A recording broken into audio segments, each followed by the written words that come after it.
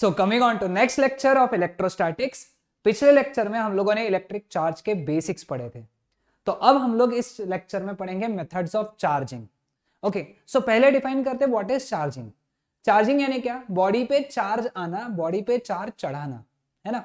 So, body can be either positively charged or it can be negatively charged okay, the simplest method of charging a body, either positively or negatively, is by adding और removing electrons है ना?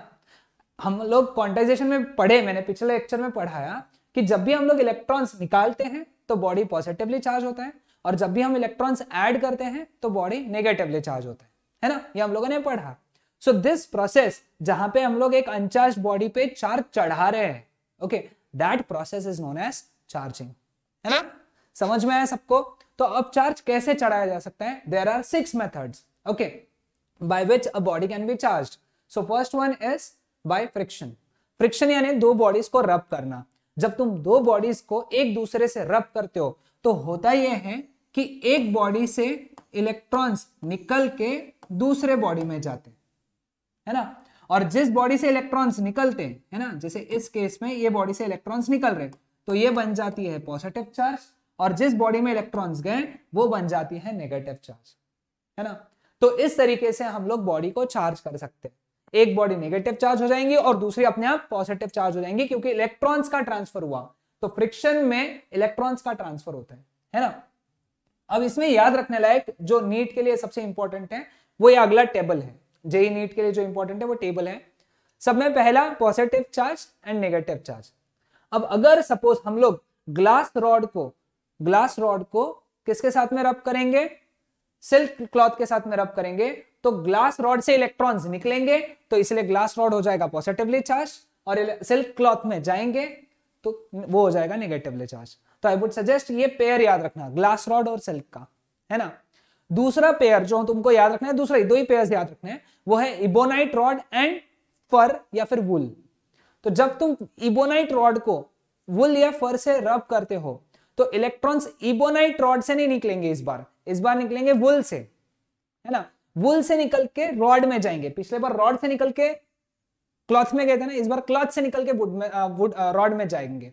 So so, वुल या फर ये क्या हो जाएगा? Positively charge और जो इबोनाइट रॉड है ये हो जाएगा हमारा negatively charge I would suggest ये टेबल बना लो लिख लो और एक बार रिवाइज ज़रूर करके जाना नहीं तो कंफ्यूजन हो जाएगा okay now next method is by the method of conduction है ना? कंडक्शन अब कंडक्शन वाले मेथड में हम लोग क्या करते हैं? हम लोग क्या करते हैं ना, एक रॉड लेते हैं, है ना? जिसके ऊपर चार्ज होता है। ठीक है? ये ऐसा एक रॉड है जिसके ऊपर चार्ज है। ठीक है? और ऐसा एक बॉडी है जो अनचार्ज है। अनचार्ज है। इसको अपने को इस पे ऊपर चार्ज चढ़ाना है। अब हम लोग क्या करेंगे ना, ये बॉडी को इस रॉड से टच करेंगे। है ना? इस रॉड से टच करेंगे। और फिर इसको सेपरेट करेंगे।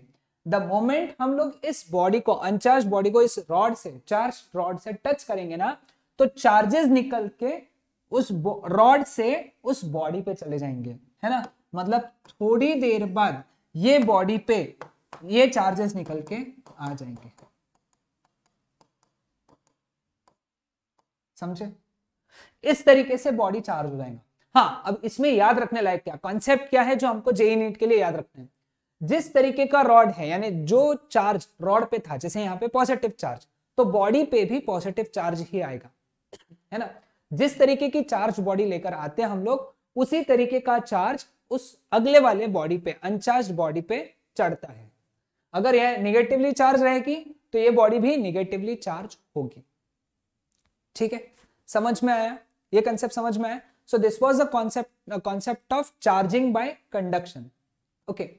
अब अगले टॉपिक के तरफ़ बढ़ते हैं which is charging by induction ये काफ़ी इंटरेस्टिंग कॉन्सेप्ट है ना? इसको स्टेप बाय स्टेप समझाऊँगा। ध्यान से दे, दे, समझना बहुत इंटरेस्टिंग कॉन्सेप्ट ओके सपोज़ ये बॉडी है जो चार्ज है है ना? ठीक है। अब हम लोग क्या करेंगे ना यहाँ पे एक अनचार्ज बॉडी इसके पास में लेकर आएँगे। ठीक है? अब होगा ये कि इस अनचार्ज बॉडी अब ये अनचार्ज बॉडी है, इसका मतलब इसके अंदर कोई चार्ज नहीं है क्या? इसके अंदर चार्ज है, लेकिन जितना पॉजिटिव चार्ज है, उतना ही नेगेटिव चार्ज है है ना? जितने प्रोटॉन्स हैं, उतने इलेक्ट्रॉन्स हैं, ऐसी बात है। मतलब टोटल चार्ज ज़ीरो है, लेकिन जितना पॉजिटिव है, उतना ही नेगेटिव है, इसलिए टोटल ज़ीरो है। अब होगा क्या? जैसे हमने ये रॉड लाया, इसको टच नहीं किया, इसके पास में ला के रखा। तो एक साइड में, है ना? एक साइड में सारे नेगेटिव चार्जेस जमा हो जाएँगे अट्रैक्ट होके। ये पॉजिटिव अंदर के नेगेटिव चार्जेस को अट्रैक्ट करेगा और पॉजिटिव चार्जेस को रिपेल करके बॉडी के दूसरे साइड में फेंक देगा। ठीक है? अब, अभी भी इस बॉडी पे चार्ज ज़ीरो ही है, बस चार्जेस क्या हो गए? सेपरेट हो गए। अब हम लोग क्या करेंगे ना? इसको अर्थ कर देंगे। अब अर्थ करने से क्या होगा कि अर्थ के अंदर के जो इलेक्ट्रॉन्स हैं, वो जाएँगे अंदर इसके, है ना? अर्थ के अंदर के इलेक्ट्रॉन्स बॉडी में जाएँगे या फिर पॉजिटिव चार्ज अर्थ में चल जाएगा, कोई भी एक चीज़ समझ लो, है ना? जो तुमको जो भी कन्वीनियंट लगता है तो थोड़ी देर बाद ये बॉडी पे जिसको तुमने क्या करके रखा है, अर्थ करके रखा है, इस बॉडी पे सिर्फ़ कौन से चार्ज बचेंगे? नेगेटिव चार्ज बचेंगे। है ना? क्या बचेंगे इस पे? नेगेटिव चार्ज फिर हम लोग ये अर्थ हटा देंगे। है ना? अब इसमें पॉइंट में इसके अंदर क्या बात याद रखने लायक है? बॉडी हम लोगों ने जो बॉडी लाया था यहाँ पे, है ना? ये कैसा बॉडी था? पॉजिटिवली चार्ज लेकिन अनचार्ज बॉडी पे आखिर में चार्ज कौन सा बचा? नेगेटिव चार्ज बचा ना मतलब जो जिस प्रकार की चार्ज बॉडी लाते हो उसके अपोजिट प्रकार का चार्ज है ना? उसके अपोजिट टाइप का चार्ज उस अनचार्ज बॉडी पे बन जाता है है ना? अगर मैं ये निगेटिव चार्ज लाता था ये निगेटिवली चार्ज बॉडी लाता था तो जो हमारी अनचार्ज बॉडी है उस पर पॉजिटिव चार्ज रह जाता था है ना? सो so, इंडक्शन में अपोजिट चार्ज इंड्यूस होता है प्रोड्यूस होता है है ना? हम लोग टच नहीं करते इसको सिर्फ़ पास में लाके रखते इंडक्शन वाले में। तो कॉन्सेप्ट समझा? चार्जिंग बाय इंडक्शन का? ओके नेक्स्ट चौथा है बाय थर्मियोनिक एमिशन है ना? थर्मियोनिक एमिशन आगे हमको बहुत डिटेल में आएगा। अभी सिर्फ़ याद रखना है थर्मियोनिक एमिशन में क्या होता है ना? हम लोग एक ऑब्जेक्ट को बहुत गर्म करते हैं ना? हीट देते है। ना? हीट के वजह से, उसके अंदर से, है ना? इलेक्ट्रॉन बाहर आ जाते हैं। हीट देने के वजह से इलेक्ट्रॉन्स का एमिट होना।